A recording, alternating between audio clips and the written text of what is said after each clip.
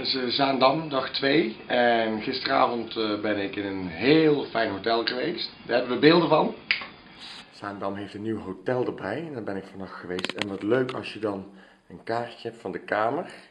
Waar een mooie vrouw op staat. Nou, bijna net zo mooi als mijn eigen vriendin.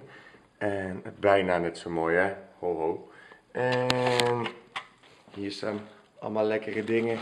En dan hebben we hier nog ook een echte minibar. Oh, lekkere spullen allemaal. En dit, dit. Ik heb vandaag gewoon in de sauna gezeten. Ik ga nooit in de sauna zitten. Ik haat die dingen. Maar dat was vandaag wel even goed voor mijn stem. En zo. Hier. Help. In je hotelkamer. Eh, daarna heb ik de hele middag even een beetje in Zaandam in een uh, eettentje gewoon achter mijn laptopje teksten gemaakt voor ehm, de droom van Guido. 10, 11 en 12 juni in Eindhoven. En nu zijn we weer in het theater en uh, in het mooie theater van Zaandam. En we gaan straks weer spelen. Hopen dat mijn stem het houdt.